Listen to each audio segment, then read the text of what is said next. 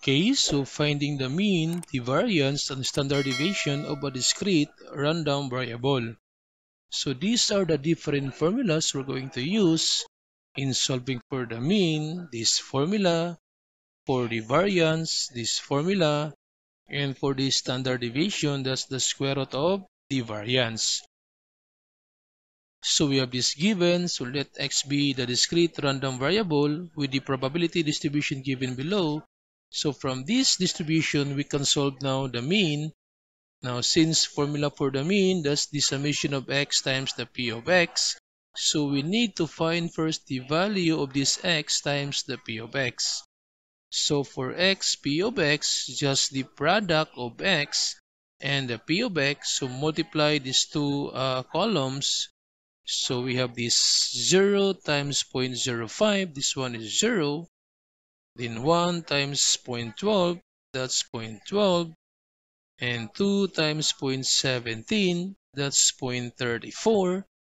And this 3 times 0.37.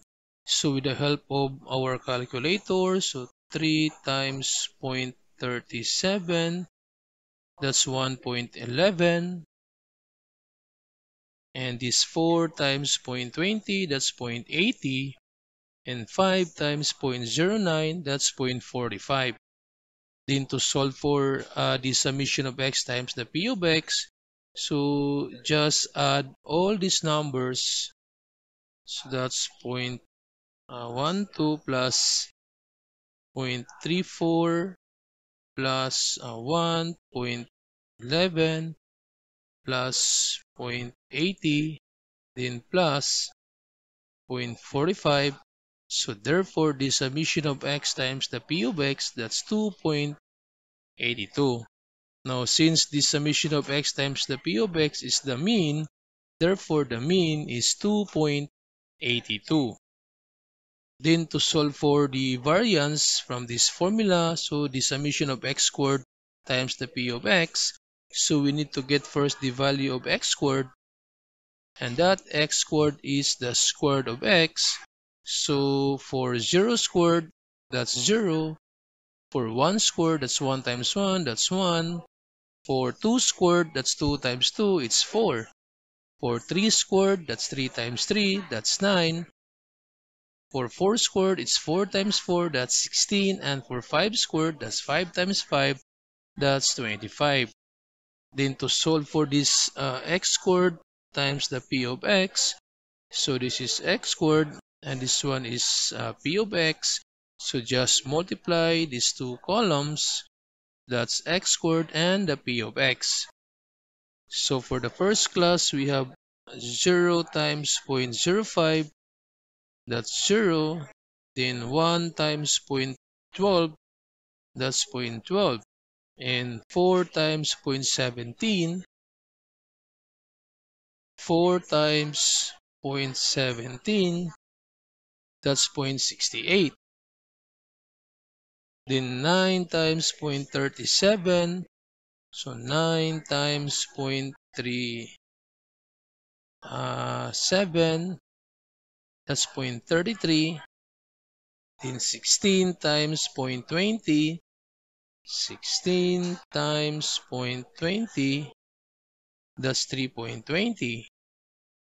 And we have 25 times 0.09 so 25 times 0.09 that's 2.25 then to get the summation of x squared times the p of x so just add all these numbers so that's 0.12 plus 0.68 then plus 3.33 plus 3.20 plus 2.25. So therefore, the summation of x squared p of x is 9.58. Then to solve for the variance, so we have this one, the summation of x squared times the p of x. This value 9.58 minus this x p of x, that's 2.82 but there's a square outside so 2.82 squared So to solve now for the variance, so 9 point, so 9.58 uh, then minus 2.82 then squared. So the variance now is 1.6276. So this is now the variance, 1.6276. And for the standard deviation, so just the square root of the variance, so that's the square root of 1.6276. So to solve for the standard deviation, so the square root of 1.6276. So therefore, the standard deviation is 1.2758. So standard deviation now, that's 1.2758. So this is now the mean, the variance, and the standard deviation of the given probability distribution.